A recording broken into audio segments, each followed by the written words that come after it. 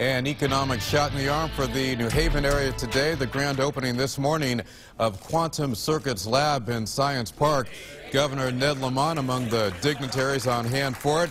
Quantum's engineers and scientists will work to develop computers that could someday be faster and even more powerful than today's supercomputers.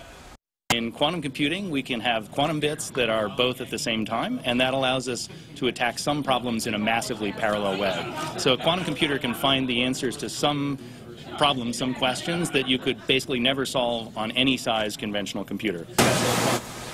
Pretty incredible stuff, and he says he expects the company to increase its presence in New Haven moving forward.